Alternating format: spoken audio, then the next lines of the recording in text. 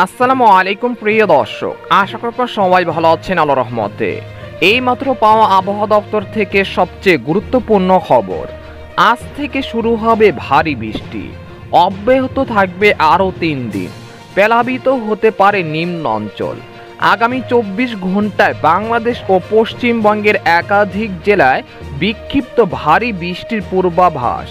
পাশাপাশি কয়েকটি জেলায় অতি ভারী বৃষ্টির সতর্কতা। এমনটা জানাচ্ছেন আবহাওয়া অধিদপ্তর আজ ও আগামীকাল কোন কোন জেলায় এই ঝড় বৃষ্টি হতে পারে এই বিষয়ে কি বলছে আবহাওয়া দপ্তর?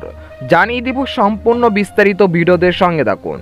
আর সবার আগে সবার প্রথম সঠিক আবহাওয়ার খবর জানতে আমাদের চ্যানেলটিকে সাবস্ক্রাইব করে রাখুন। এবার জেনে নিন এক নজরে।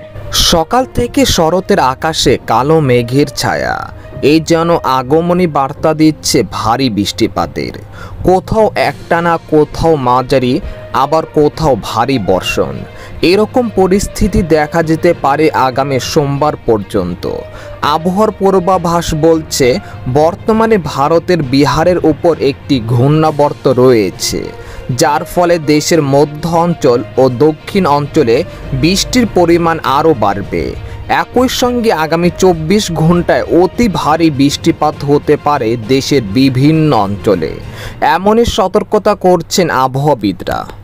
এদিকে আজ সন্ধ্যার পর থেকে পরবর্তী চব্বিশ ঘন্টায় যেসব জেলাগুলোতে ভারী বৃষ্টিপাত হতে পারে, এর মধ্যে ঢাকা, মানিকগঞ্জ, ফরিদপুর, টাঙ্গাইল, নরসিংদী, মুন্সীগঞ্জ, নারায়ণগঞ্জ, কিশোরগঞ্জ, রাজবাড়ী, খুলনা, যশোর, নড়াইল, মেহেরপুর, কুষ্টিয়া, মাগুরা, রাজবাড়ী, পাবনা, সিরাজগঞ্জ, বগুড়া, নওগাঁ, চট্টগ্রাম, মিরসরাই, কক্সবাজার, বান্দরবন, খাগড়াছড়ি, কুমিল্লা, ব্রাহ্মণবাড়িয়া, চাঁদপুর, নোয়াখালী, বরিশাল, পিরোজপুর, পটুয়াখালী, বরগুনা, সিলেট, ময়মনসিংহ ও রংপুর বিভাগের সকল জেলায় মাঝারি থেকে ভারী বৃষ্টিপাত হতে পারে।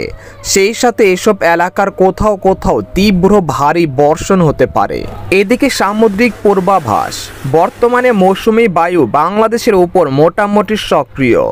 এবং দেশের উপকূল ও দক্ষিণ মধ্য বঙ্গোপসাগরে গভীর সঞ্চারণশীল মেঘমালা সৃষ্টি হওয়ায় দেশের সকল সমুদ্র বন্দরগুলোকে তিন নম্বর স্থানীয় সতর্ক সংকেত দেখাতে পারে বাংলাদেশের আবহাওয়া অধিদপ্তর। এদিকে পশ্চিমবঙ্গের আলিপুর আবহাওয়া দপ্তর জানিয়েছেন, আজ পশ্চিম বর্ধমান, পূর্ব বর্ধমান, বীরভূম ও মুর্শিদাবাদে ভারী বৃষ্টি হতে পারে। বাকি সব জেলায় হালকা থেকে মাঝারি বৃষ্টি হতে পারে। পরবর্তী চব্বিশ ঘন্টায় অর্থাৎ শনিবার, বীরভূম ও মুর্শিদাবাদে ভারী বৃষ্টি হতে পারে। বাকি সব জেলাগুলোতে হালকা থেকে মাঝারি বৃষ্টির সম্ভাবনা।